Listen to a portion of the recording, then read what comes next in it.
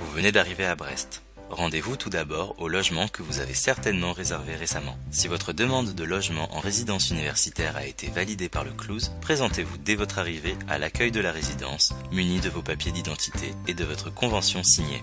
L'adresse est indiquée sur la convention. Il y a trois cités U à Brest, le Bougain, l'Enrédec et Kergoat. Si vous n'avez pas fait de demande de chambre en résidence universitaire, vous devrez trouver un logement par vos propres moyens. Si vous ne l'avez pas encore fait, réservez plusieurs nuits dans un logement temporaire, dans un hôtel, une auberge de jeunesse ou chez l'habitant, avant de trouver votre logement définitif. Déposez vos valises et recherchez une location pour toute la durée de votre séjour à Brest, sur Internet, dans les journaux locaux ou en agence immobilière.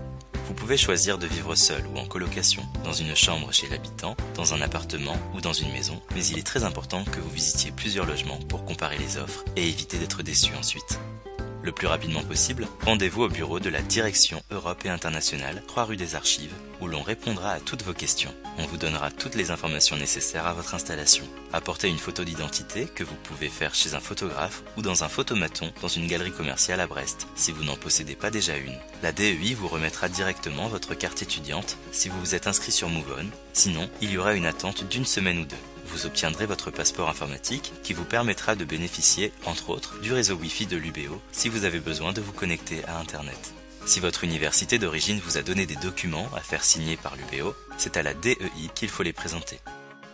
Dès que votre choix de logement est fait, contactez le propriétaire de votre futur logement ou l'agence immobilière. Ils vous demanderont, selon les cas, une caution et un dépôt de garantie. Ce sont des garanties financières qui ne doivent pas dépasser un mois de loyer chacune. Vous devrez également fournir une attestation de souscription à une assurance multirisque habitation. Elle couvrira les frais matériels en cas d'accident. Vous pouvez vous la procurer dans une mutuelle étudiante, dans une banque ou dans une agence d'assurance. Comparez plusieurs offres. Demandez à d'autres étudiants quelle assurance ils ont choisi. Choisissez l'offre la plus avantageuse avant de signer.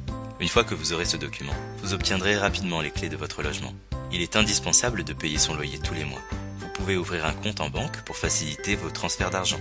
Faites attention à votre budget, surtout au début de votre séjour à Brest, lorsque vous aurez beaucoup de dépenses.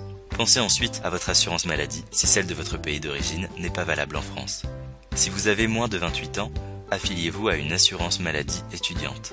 Si vous avez plus de 28 ans, vous devez prendre contact avec la caisse d'assurance maladie pour ouvrir vos droits. En effet, lorsque vous devez vous faire soigner, la sécurité sociale prend en charge une partie de vos frais médicaux. Le restant peut être remboursé par une complémentaire santé que vous pouvez souscrire dans une mutuelle étudiante ou dans une agence d'assurance, mais elle n'est pas obligatoire. Si vous avez besoin d'aide, des étudiants bénévoles peuvent vous guider.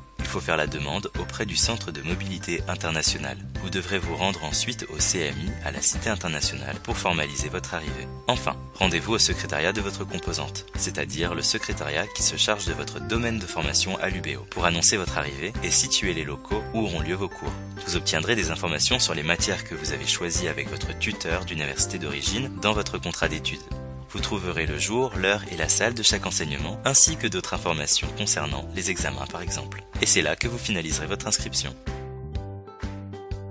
Comme vous étudiez à l'UBO, vous aurez droit à des cours de français langue étrangère gratuits que le pôle langue organise dans le but de vous perfectionner en français le pôle langue vous contactera dès que possible. Un conseil, avant d'avoir une adresse de messagerie UBO, pensez à utiliser une adresse transparente pour faciliter vos échanges par mail entre vous et l'administration. Et voilà, vous êtes prêt pour vivre à Brest et étudier à l'UBO. Il ne vous reste plus qu'à vous occuper de votre carte de transport, d'obtenir un numéro de téléphone français, de mettre les factures d'électricité, de gaz et d'eau à votre nom et de préparer votre rentrée universitaire.